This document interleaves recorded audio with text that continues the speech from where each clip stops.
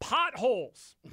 Big problem here in Pittsburgh. Sure. Plenty of other places that potholes um, are are an issue. You always see- dangerous. I always see road crews out there filling in potholes and Yeah, everything. yeah. I'm telling you, I don't, I don't know. Can we encourage this?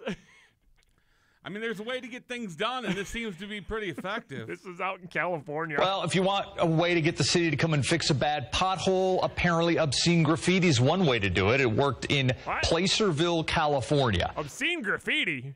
Okay, tell me more. Locals say they've been living with the pothole problem for months despite complaining to the city about it. No one ever came to fix it, and then someone spray painted a penis on the big pothole. Did we need the pause though? like, did we need the pause? Dramatic pause. Did, did we need the pause, what man? could it be? What could a, a penis? Did we need the pause? Someone spray painted a penis. yeah. The words, "water taxes for?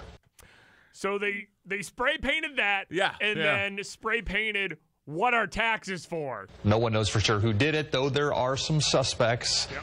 When a local station contacted city officials about the graffiti, a crew was there within an hour to clean it up Wow, look at that. and fix the pothole. Look at that. It's a strategy that worked for him. It did. Quick service It there. worked. I I don't want to encourage graffiti.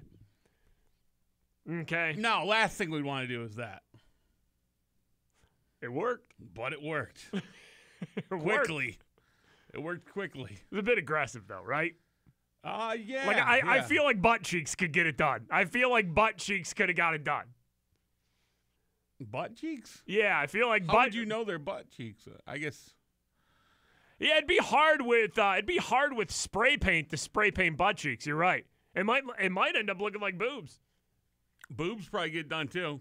Ah, yeah, I don't know though, man. I don't know. Then it might look like a sideways three, kinda too. it could be questionable, depending on what angle you're looking at it. Well, we know there's one way to get it done. There's a big pothole in your area.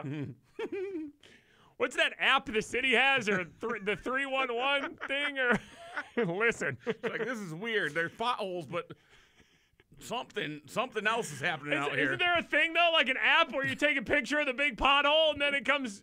yeah, yeah. Yeah, yeah. If that app's not getting it done, not not saying it's officially approved, but I guess there was a way in California how to really fast track and uh, and get things done.